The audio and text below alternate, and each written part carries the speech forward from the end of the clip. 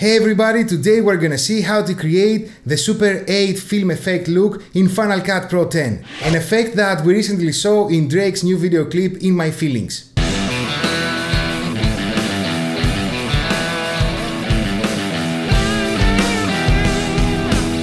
Before starting this tutorial, I want to say a big thank you to Tesi Evelpidou and Adagio Dancing Crew for giving me the footage that we're gonna work today. We are in the Final Cut Pro 10 and we have placed the video that we're gonna give the Super 8 film look. The first thing we're gonna do is to go to the effects panel and we're gonna type in search Gaussian. We're gonna drag it into the clip and we're gonna give an amount of 2 and blur boost 1. After that, we're typing in the search grain and we're gonna play some film grain into our video. We're gonna choose the realistic grain and the amount we're gonna put it around 40. And now we will adjust the color and the shadows of the video so we can give the film 8 effect look. We click on the color inspector and we raise the shadows by 15%.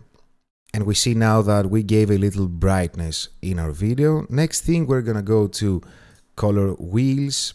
We will go to the master and we will drag it on the left and up until it's uh, orange yellow like that.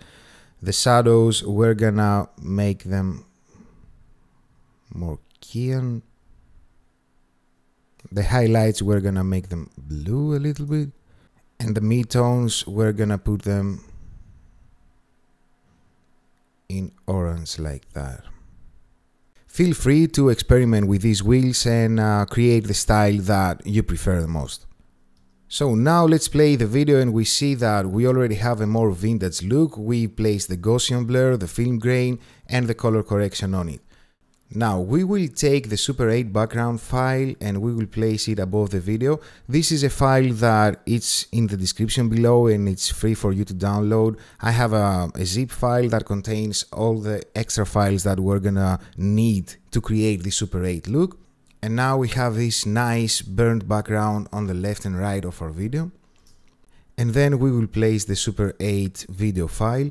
We are gonna type Command C on our keyboard and we're gonna paste it with command V so it can match the whole length of our video. Okay, so let's see what we have. We have a nice burnt background and we have this little Super 8 thing on the left, but we're gonna need some dust and scratches. So we will take the dust and scratches video file, we're gonna place it above our video and below the background. And we're gonna go to the blend mode and set it to screen. Now we're gonna press Command C to copy and then Command V to paste. We're gonna grab these videos, put them next to the other, and let's see what we have.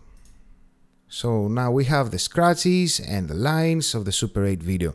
Perfect. Now, one last thing. You see the background. The background needs to move a little bit. So we're going to select it. We will go to the video inspector and we're going to scale it to 103% and then we're gonna go to the effects panel, type earthquake, we're gonna drag the earthquake effect into our clip. Okay, now let's check the video.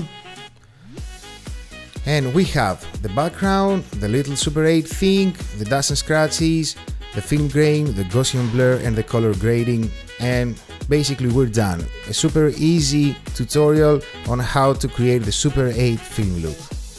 Quick reminder, don't forget to download the free package that I have in the description below that contains all the files that you're gonna need to easily create the Super 8 film look. I hope you found this tutorial helpful and if you did, don't forget to like this video, subscribe to my channel for more content like this one, ring the bell to take the notifications whenever I post a new video and I don't have anything else to say.